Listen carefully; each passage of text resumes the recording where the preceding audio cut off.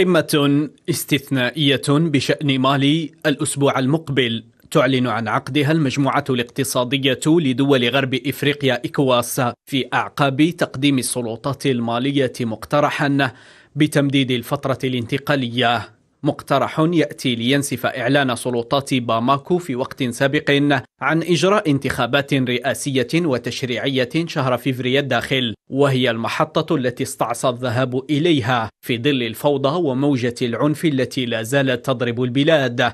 ما يعني أن العودة إلى مسار الديمقراطية قد يتأجل بين ستة أشهر إلى نحو خمس سنوات على الأكثر وفق مخرجات المؤتمر الوطني لإعادة البناء الذي استمر أربعة أيام واختتم الخميس.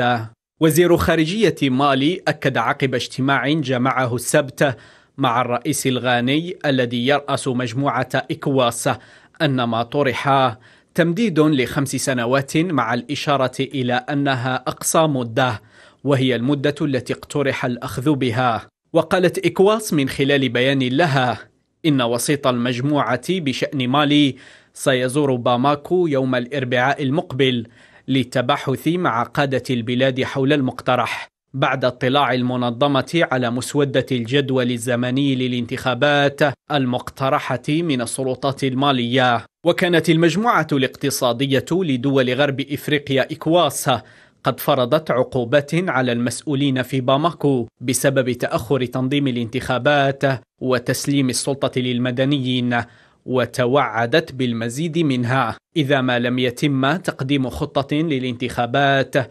بحلول نهاية 2021